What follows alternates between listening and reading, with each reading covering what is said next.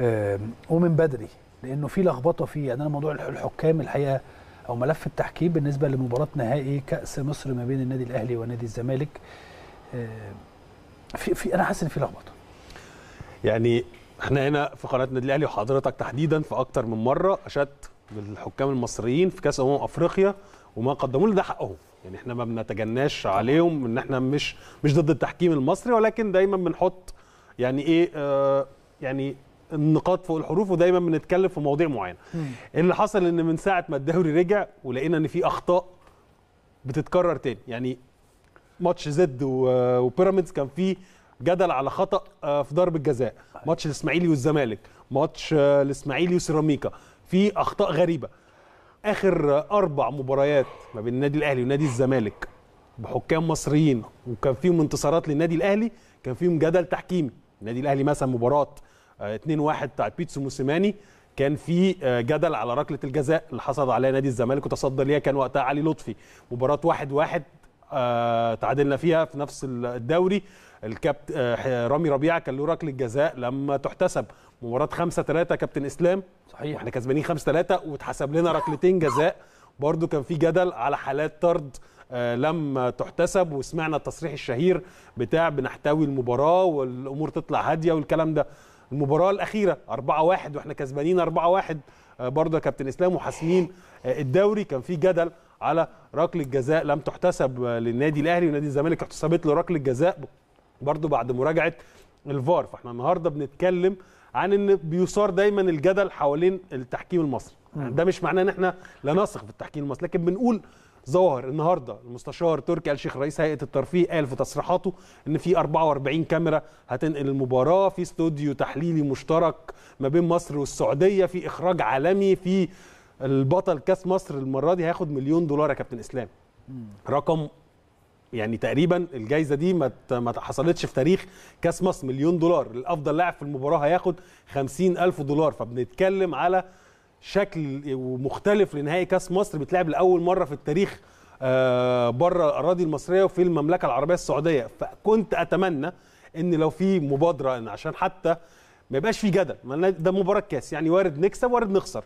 لكن عشان ما يبقاش في جدل إيه المانع إن مع كل ال- الاستعانة بالخبراء في الإخراج ال- آه، التصوير الملعب على أحسن حال؟ طب ليه ما نجيبش حكم آه، أجنبي؟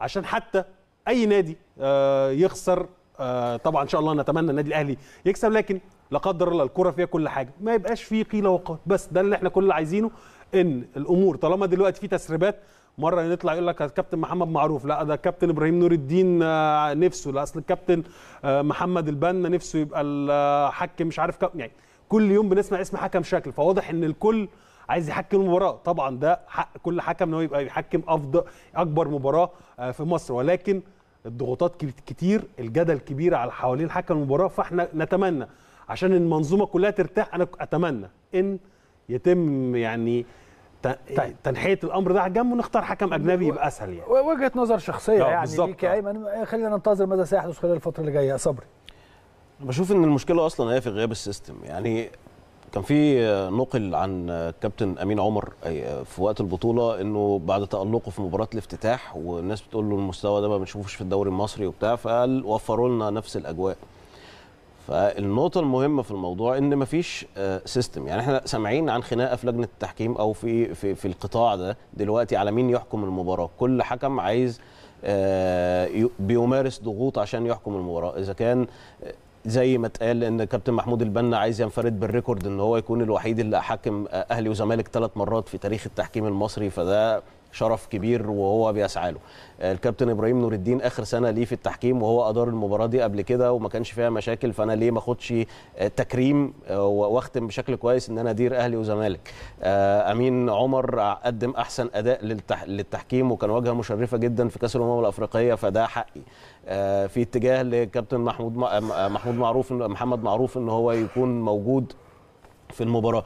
فكل حكم أو كل جهة أو كل حد من أو طرف من الأطراف دي بيضغط داخل إن هو يكون يعني. موجود. فالناس دي هتركز في الملعب إزاي؟ يعني اللي ح... اللي هيفوز بقى بال... بال... بالمعركة دي أو بهذا السباق هيبقى أصلا تركيزه فين؟ إذا كان التركيز كله إن إحنا دلوقتي بنتصارع مع بعض مين اللي هيحكم المباراة. ليه؟ لأن مفيش system يعني هم هم كل واحد من حقه يحلم. لا أصل دي ما فيهاش سيستم دي فيها إن الأفضل هو اللي يحكم. ما هو بس ما هو الافضل من وجهة نظر مين؟ من من- وجهة نظر الح- لجنة الحكام بس. وإذا كانت الأمور بتدار بالشكل ده ما كانتش هتحصل الخناقة دي. أو ما كانش ما لا كناش كل واحد لا معلش كل واحد أنا أنا بشوف إنه لا كل واحد من حقه يقول إن أنا عايز أعمل وكل حاجة ولكن أنا وجهة نظري إن الحكم في رأس آه، آه، رئيس لجنة الحكام. بالظبط. أو أنا أنا- وجهة نظري أن طاقم التحكيم اللي هيحكم هذه المباراة هو في رأس لجنة الحكام يعني زي المدير الفني. نتمنى. المدير الفني. أنت أول ما نخش على قصة البلدية والاهلي والبلدية أول حاجة لما قريت التشكيل وشفت التشكيل قلت إيه؟ قلت إيه اللي بيعمله كولر ده؟ صح ولا لأ؟ م. كلنا قلنا هذه الكلمة لكن بعد كده اكتشفت إيه؟ ليه؟ لأن هو الوحيد اللي حافظ التشكيل وحافظ اللعيبة اللي معاه وشايف إن اللعيبة اللي معاه دي ألاعب وسام ملاعب عمر كمان ناحية الشمال ألاعب آم، آه، آه، كريم نيدفيد مع آه، إمام واحط قدامهم يعني كل واحد له طريقته يعني. هي وجهة نظري في القصة دي يا كابتن اسلام وإحنا بنتكلم فيها مش إحنا عارفين النادي الأهلي بيدعم منظومة التحكيم وإحنا بنتكلم بس وجهة نظر من الشواهد اللي بنتقال وبن زي ما نقول إيه كده بنحط إيدينا على مشكلة. مباراة الانسحاب الشهيرة كابتن إسلام لحد دلوقتي رغم إن لعيبة نادي الزمالك نفسهم اللي حضروا الواقعة قال لك إحنا لظروف ما آه، قلنا إن إحنا مش هنكمل المباراة وخلافه وقتها كان طلعوا قالوا أصل الجون offside وهو الجون أصلا مش offside وكل القصة دي اتروج ليها لمجرد إن الحكم المباراة هو حكم مصري لكن لو كان حكم أجنبي زي مثلا المباراة اللي بعديها بتاعت لا الطرد كان هيتر- هيروج ليها لا. برضه وأنصار الفريق ده يقولوا إن لا هو يعني قصدي وقت الطرد الفريق الثاني واخدينه وقت طرد مباراة طرد. كابتن أيمن عبد العزيز لا مش قصدي يعني قصدي وقت طرد كابتن أيمن مباراة طرد كابتن أيمن عبد العزيز برضو آه. وكان حصل فيها انسحاب محدش قدر أيمن أي حاجة تعدي له بصراحة أيمن عبد العزيز تحديدا أي حاجة تعدي وقتها ما, ما, حصلش نفس القصة وقتها بتاعت كان وقتها. آه. التكتيك 10% برضه ولا لأ كان ما 20 أعرفش كان 20 لسه؟ آه كان 20 وقتها يعني أنا أيمن أنا بحبه أيمن صديقي أخويا الصغير يعني لكن يعني التصريحات لكن يلا ماليش علاقة. بس خلاص. اتفضل. أنا خلصت كلامي في موضوع؟ التحكيم ده. أنا خلاص يعني موضوع التحكيم إيه، وأنا ز- زي ما ما قلت أنا شايف إن ال- إن المشكلة أصلا في غياب السيستم. أنا مش بلوم على الحكام. أنا بلوم على إن مفيش system واضح هم يشتغلوا من خلاله فما يبقاش ما يتفرغوش لهذا لهذه الصراعات اللي هي دايما بتحصل مع كل مباراة قمة.